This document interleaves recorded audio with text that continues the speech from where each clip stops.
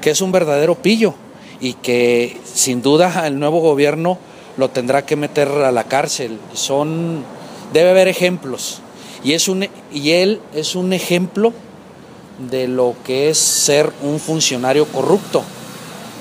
Y por consecuencia, el ejemplo que debe poner el gobierno es aplicar la ley con esos que efectivamente nos han demostrado en el cargo que han ostentado cometer delitos, robarse el dinero de la gente, eh, creer que los recursos públicos son, son, son patrimonio propio y hacer y deshacer. Claro que este, el nuevo gobierno tiene que poner el ejemplo y, tiene que empezar con Javier Hernández. Ya es evidente, es de veras vergonzoso y, y peor aún que está en la, en la impunidad que lo que trató de hacer el actual, el actual gobierno es eh, tratar de solapar este tipo de situaciones, de exonerarlo, pero las evidencias cada vez hay más. Y tiene que haber pues sanciones claras ante este tipo